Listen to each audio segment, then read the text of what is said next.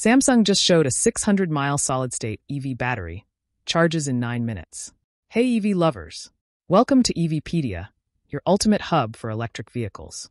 If you're as excited about EVs as we are, hit that subscribe button, give us a like, and drop a comment below. And if you want to help us bring even more amazing content, consider giving us a super thanks. You know things are serious when big tech hops aboard. It's easy to see why battery tech advancements are all the buzz in the EV scene these days. I mean, anyone who's anyone in the automotive and motorcycle industries is working hard in pushing the bounds of electrification. But up to now, the biggest hurdle when it comes to EVs is reducing charging time and increasing range. This is where solid state SS batteries enter the picture. We've been talking about these things here on Ride Apart for quite some time now, and the potential they have in the future of mobility is simply undeniable. Now, some of the biggest players in the tech industry are hopping aboard the SS battery bandwagon in full force.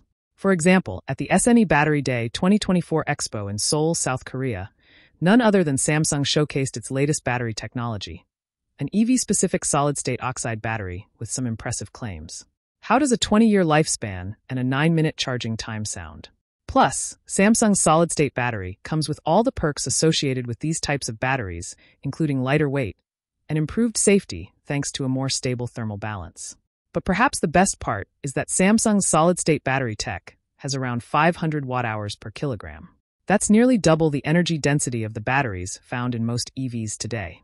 And so in the real world, we could be looking at about 600 miles of range on a single charge. Indeed, at present, Samsung's already working with big automakers to incorporate its solid-state battery tech into tomorrow's EVs.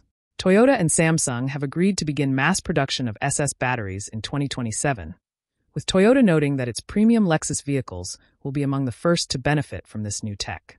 Now, if you're thinking that all this sounds too good to be true, well, that's because it kinda is. There definitely is a catch, and that catch is the fact that these ultra-fast charging batteries require some pretty solid infrastructure for you to get the claimed 9-minute charge time.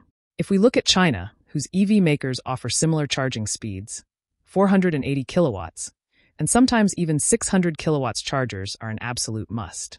But even in China, charging stations of this capacity are far and few in between. So the real challenge here isn't so much whether or not it's possible. We know that it certainly is, but rather how quickly ultra-fast charging infrastructure can be made available to the masses. Then, of course, there's the issue of cost. At present, it costs way more to manufacture solid-state EV batteries than lithium-ion and LFP batteries found in current EVs, around three or four times, to be specific. Perhaps that's why Toyota plans on introducing solid-state batteries on its Lexus vehicles first, where profit margins are much higher. At the end of the day, the advancement of solid-state batteries is a good thing for everyone. Sure, at the moment, they're super expensive and require specialized tech to make the most out of. But less than 20 years ago, SSDs were super expensive and HDDs were the norm. But now, even boomers have SSDs in their laptops and home computers. Who's to say that in the next 20 years, or maybe even less, SS batteries will be the standard for EVs? That's it for today's episode of EVpedia. If you had fun, subscribe, like, and share your thoughts in the comments. Don't forget to give us a super thanks to support our channel. Thanks for watching and stay charged. Until next time, keep it electric.